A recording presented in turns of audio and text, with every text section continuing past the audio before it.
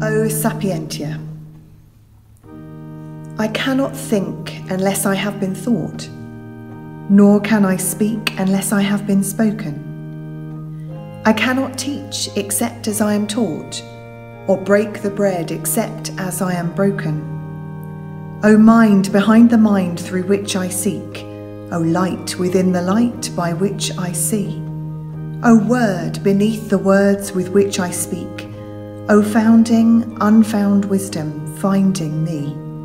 O sounding song, whose depth is sounding me. O memory of time reminding me, my ground of being always groundling me, my Maker's bounding line defining me.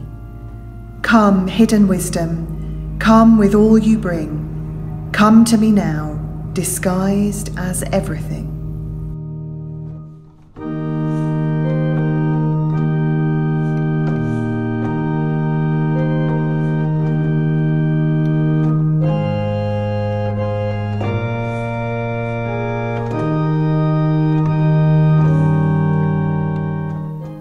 O wisdom, coming forth from the mouth of the Most High, reaching from one end to the other mightily, and sweetly ordering all things, come and teach us the way of prudence.